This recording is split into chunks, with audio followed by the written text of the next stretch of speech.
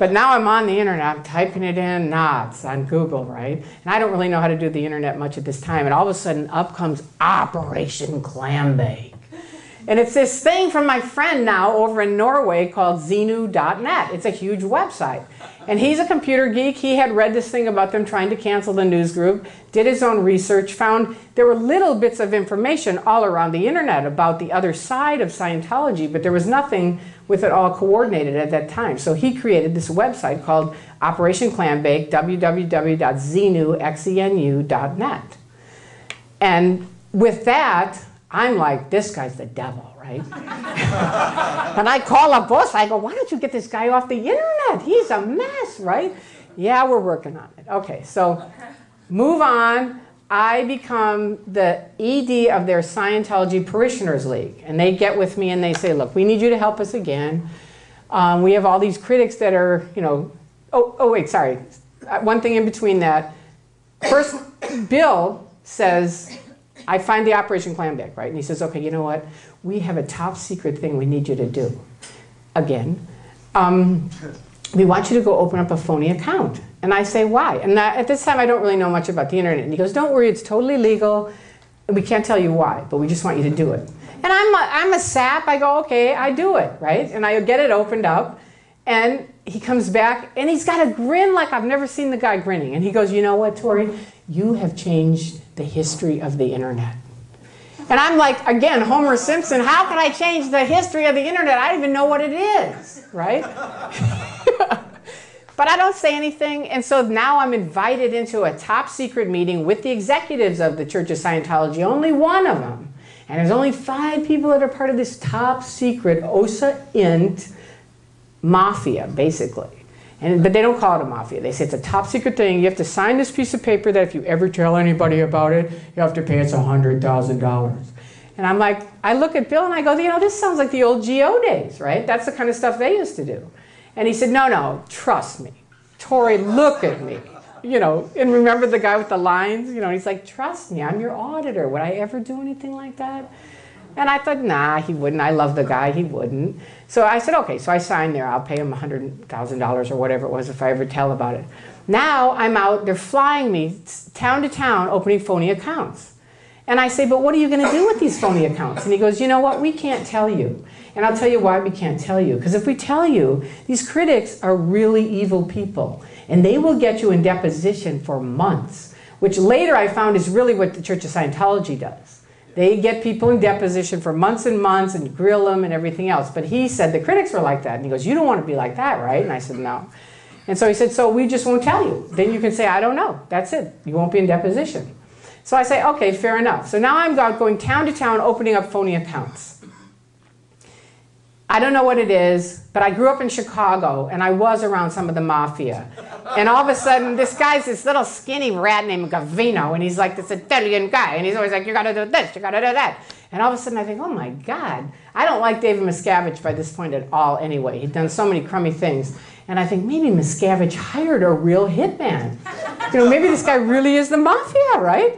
How do I know? He would. He, by now, I've realized he's a criminal. He is. I've realized that. I don't think Scientology is at this point, but I think he is. And so I think I'm going to find out. So I go on the internet. Now I'm in my dining room, right? See, like they used to be mm-hmm. able to control all this stuff, but now I'm in my dining room. And Bill had come, I forgot to tell you that, and taken off my net nanny. That's how I found out about it. Years mm-hmm. earlier, he had said, Oh, I got to take this thing off your computer. And I said, Take what off? I just bought it, you know, just a little while ago. He explains the net nanny and he says, but you know, you wanted it on there because you don't want to be talking to those evil people because they would upset you and then you have to get auditing or ethics and pay for it. And I'm like, yeah, true, okay. You know, that's how they handle that kind of stuff, right?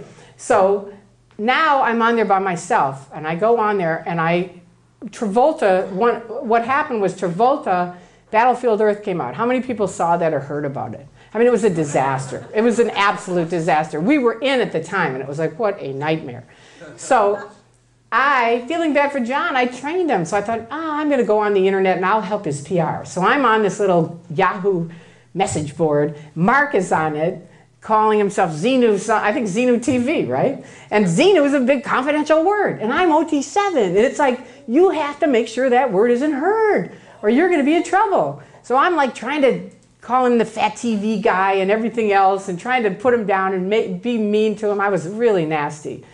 Anyway, it wasn't working. These guys were like the cowboys. That's what they reminded me of cowboys in the old days. You know, man, these guys could talk, they could think, they could ask questions, they could do everything I couldn't do, right?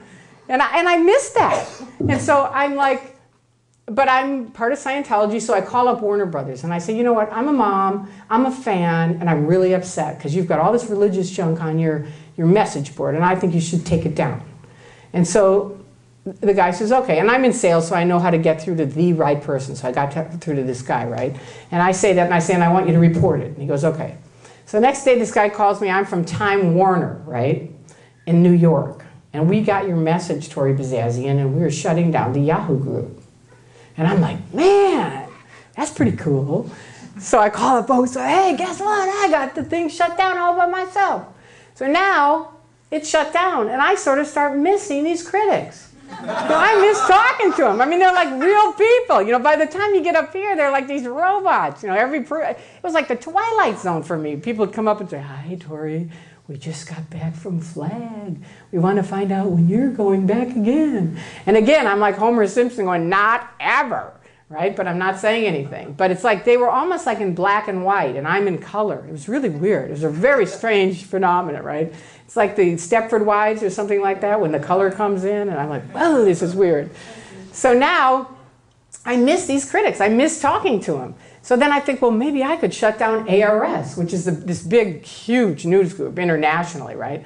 So I go on it. My name is Magoo. My dad's name was nick, nicknamed Magoo. So I go on kind of as my dad, right? You know, I'm Magoo, right? And I'm like, back, back, back, back, back. I'm fighting the critics, right? And these are people all around the world. And they're like, you know what? You're a moron. and I'm like, why are they calling me a moron? You know, I don't get it. You know, it's like I've been with all these people who think I'm great. I'm at the top of this. I'm OT7, class four, OSA, you know, internet, OSA, I mean, OSA PR, everything else. I've had all this, like, I'm a great person, right? And now I'm around these people who are like, you're just a moron. You're an idiot. You know, and they're like writing all this to me. So I'm like fighting them back. I was on AOL at the time, and AOL, if you open it up, or at least the way, yeah, five more minutes. Okay, skip it. I'm not going to tell you. Anyway, basically, my friend in, in Norway, Andreas, writes me and says, What happened was I didn't know, I only knew how to copy paste. That's how Bill Yardley had taught me. So I was copy pasting things, and I would think how, how the internet works for anybody who isn't on it. You say something, then there's some arrows, someone else says something, right? So basically, I think, who needs all these arrows? right? So I'd erase all the arrows. And so Andreas in Norway writes me, who I think is the devil, and says, Magoo, nobody can understand you. You're not formatting this right. Here's what you need to do X, Y, and Z. And I'm like floored. I mean, this is the devil. And he's writing me, helping me? And at the end of every single thing he sends is his full name, his full address, and his phone number. And at the time, by the time we're at the top in the secret mafia, we're using phony names on the phone. I can't even say Bill, his name was Jack you know, we have got phony addresses, phony everything, right? And so I'm like, I just sit there stunned and I write him back. And I, I mean, I was terrified. And I hit this blue link and I go, why do you have up these horrible things about my religion? Send. You know, I'm writing to an SP. It's really heavy for me. And he writes back and he says, Dear Magoo, I believe in truth. I believe in looking at both sides. And I believe in having the courage to say what I think. I don't think Scientology is bad, I just think it's misinformed. And I sat in my dining room and I cried for two hours. I couldn't stop crying because I thought that is who I was when I got in at 22. That's what I believed in. And now I'm at the top of this pyramid and I can't think, I can't read, I can't talk. I've given them over $200,000 of all my inheritance. I'm nothing, right? And, you know, I'm not a critical thinker. It's bullshit, right? And I, I mean, really like half the Truman Show cracks, right? But not all the way.